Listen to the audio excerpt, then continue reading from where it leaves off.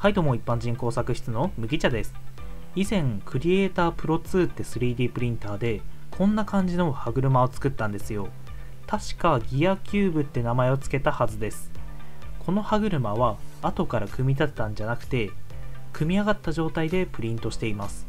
普通のやり方では作れないのでサポート材っていう支えの部分を PVA 水溶性フィラメントで作って水に入れることで溶かしています。前からこのモデルを粉末系の 3D プリンターで作りたいなーって思っていたので今回は企業に外注します。まあおなじみの JLCPCB さんに頼みます。マジで外注って楽だね。ほんで JLCPCB さんの 3D プリントサービスでは粉末を固めて造形するタイプが3種類あります。まずは以前逆ケンタウロスやベンチマークモデルを作った SLM 方式 3D プリンター。金属粉末をレーザーで溶融させて造形します。次に SLS 方式。粉末をレーザーで焼結して造形します。最後に MJF 方式。MJF だけ結構違う原理で造形していてまずは粉末状の樹脂を敷き詰める。その上に溶解促進剤と表面装飾剤を高速で噴射。ランプで熱を加えて樹脂を溶融させます。これを繰り返すことで立体物を作ります。どの方式も造形物の強度に違法性が出にくい。まあ要はどの向きに対しても同程度の強度を持つって特徴があります。SLS、SLM はレーザーを使うのに対して MJF はランプを使って広範囲を加熱するので生産性が高いらしいです。あとは MJF だとカラープリントができます。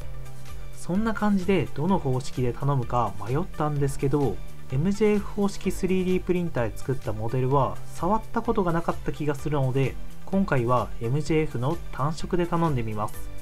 それでは JLCPCB さんのサイトで注文。データをアップロード。プリント方式を選択。MJF の PA12 を使ってみます。色は動画で見やすそうなナチュラルグレーを使います。材料のスペックはこんな感じ。防水性、耐薬品性、耐熱性に優れているのでいろんな用途に使えそうです。自動見積もりが出て21.52ドル。日本円で3230円らしいです。円安がひどすぎる。配送方法で配送料が変わるので納期を見ながら注文ですね。DHL だと2日から4日でついて2400円ぐらい。一番安い OCS だと4日から8日でついて300円。OCS がめちゃめちゃ安いので急ぎじゃないなら OCS が良さそうです。海外に注文すると送料でかなり取られるので選択肢が多いのはマジで助かります。それでは注文します。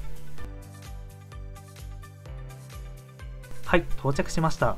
2週間ほどで着きました。まずは軽く観察。表面はザラザラしていていい感じに積層痕が見えません。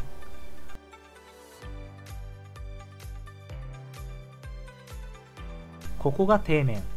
上と比べると若干積層痕が見えます。マジで綺麗ですね。それでは回してみます。いい感じにスルスル回ります。ほんでなんか色違くねって思った人もいるかもなんですけど実は理由があって届いてすぐの状態だと歯車が回らなかったんですよ。全体的にグリグリして回るようになりました。原因が軸と歯車の隙間にガチガチに粉末が溜まっていて回転を止めていました。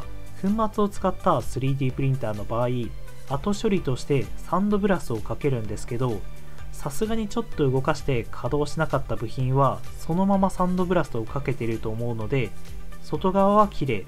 内側は粉が残ったままになってました。白いところは粉がこびりついています。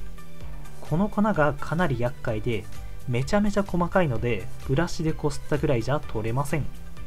サンドブラストを使わないと難しいかもしれません。可動部が少ないものなら綺麗に処理をして送ってくれるとは思うんですけどこのモデルみたいに連動して動くところがたくさんある場合は注意が必要ですね。隙間を大きく開けてガタガタにしたんで大丈夫だと思ったんですけど粉を敷き詰める時にある程度ローラーでプレスしてると思うんで粉が固まってなかなか取れませんでした。SLS や MJF はサポート材がつかないのでめっちゃ便利やんって思ってたんですけど脳死で使えるほど甘い機械じゃないみたい。設計ガイドラインを見るのも当然なんですけど後処理のこともイメージして設計した方がいいかもしれません。手持ちの FFF 方式 3D プリンターで作ったモデルと比べてみます。FFF 方式はフィラメントと呼ばれる針金状の樹脂を熱で溶かして積み上げます。MJF で作った方が全体的に同程度な質感です。FFF で作ったモデルは積層方向に割れやすく一部の刃が欠けちゃいました。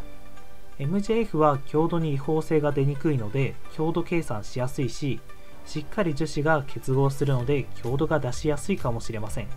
ちなみに FFF で作ったモデルは合計1000円ほどかかります。MJF の依頼料が3000円程度なんで材料費で考えるともしかしたらあんまり差がないかもしれません。消し飛ばすサポート材用の水溶性フィラメントが高いです。